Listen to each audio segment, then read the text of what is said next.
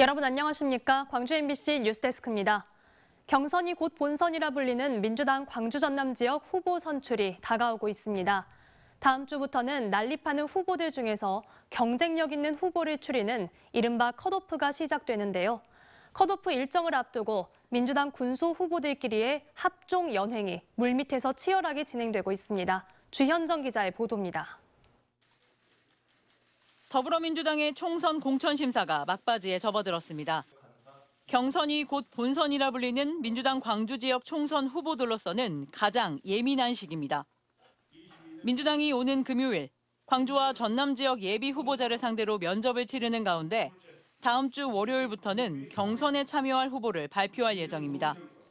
경선 참여 후보가 발표되면 언급되지 못하는 후보들은 컷오프되는 것을 뜻하기에 예비 후보들의 마음이 바쁩니다.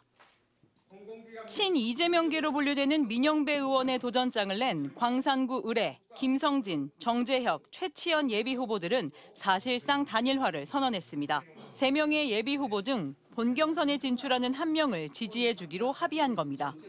어, 하나의 정책 대안으로 어, 누가 되더라도 결집시켜서 반드시 해결하겠다는 그런 의지를 표명한 것이라고 보시면 되겠습니다.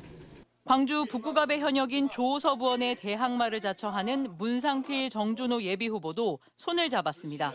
단일화 실무팀까지 꾸린 양 진영은 역시 본경선에 진출하는 후보를 지지하는 쪽으로 가닥을 잡았습니다. 예비 후보들이 합종 연행을 하는 이유는 일단은 막강한 현역에 맞서 1대1 구도를 만들어 보겠다는 의지입니다. 정치 개혁과 변화를 갈망하는 지역의 민원들을 받아서 그런 것을 잘 해결하려고 하는 마지막 바람이 후보 단일화로 가는 것이고 네, 네. 조건 없이 하는 거죠.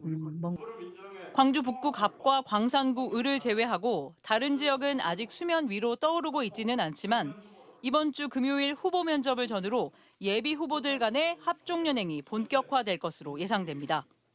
현역 국회의원에 도전하는 예비 후보자들의 단일화 논의가 민주당 경선의 중요한 변수가 될지 아니면 찻잔 속 미풍에 그칠지 눈여겨볼 대목입니다. MBC 뉴스 주현정입니다. 언제 어디서나 내 손 안의 뉴스. 광주 MBC 뉴스 유튜브 구독으로 함께하세요.